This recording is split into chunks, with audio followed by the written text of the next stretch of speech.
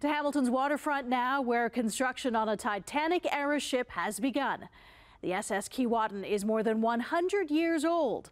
Sean Cowan is at Heddle Shipyards with more.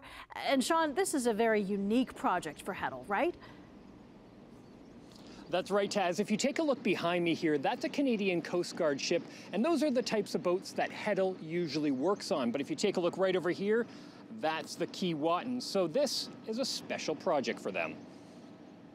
The Keewatin was built in Scotland back in 1907, and now it's the only Titanic-era ship left in the world. So it's time for a little facelift, and while in Hamilton, the ship's deck will be restored. So right now we're starting to take up some of the old deck boards, uh, and then we'll be going through, plugging all the holes, uh, and then painting the deck so that it's ready for the new decking whenever that takes place. For Heddle Shipyards, getting to work on a vintage ship is a treat.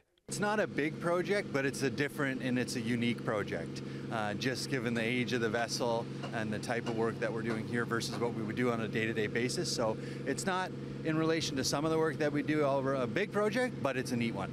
While Heddle is mainly working on the outside of the ship, there are some very cool spaces inside this historic vessel. So this is the, the engine room of the Keewatin.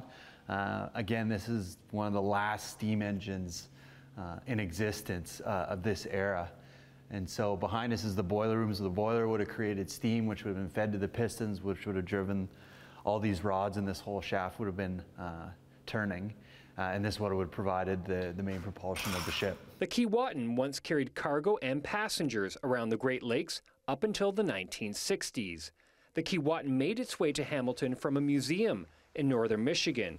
But when this restoration project is complete, it will be shipped to the Marine Museum of the Great Lakes in Kingston. And I think people will really enjoy it when they come in and it's it's all uh, dressed up and staged properly. Uh, we're building a muse, uh, museum ex exhibit for it in the next year, so people have some orientation uh, before they even board the ship and take a tour. The Keewatin will be here at Heddle Shipyards in Hamilton until September.